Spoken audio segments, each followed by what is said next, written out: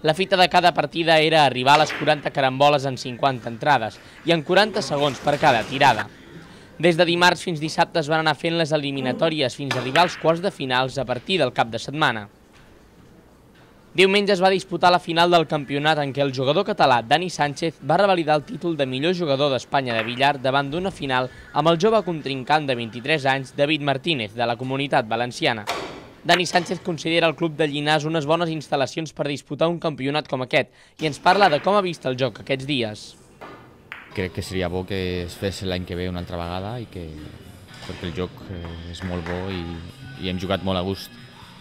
En quant a com he jugat jo el torneig, mm, jo no estic gaire content, encara que he guanyat, no he jugat molt bé, he jugat bé la final.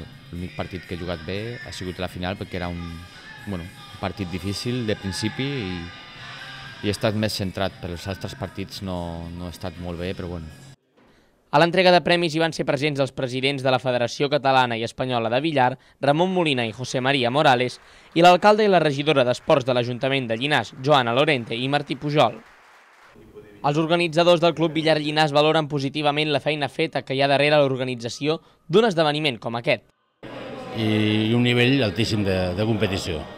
En resum, perfecte, perquè el club reuneix les condicions per poder fer-ho. La seva fita és tornar a tenir a la població un altre campionat d'aquestes magnituds i amb tan bona acollida.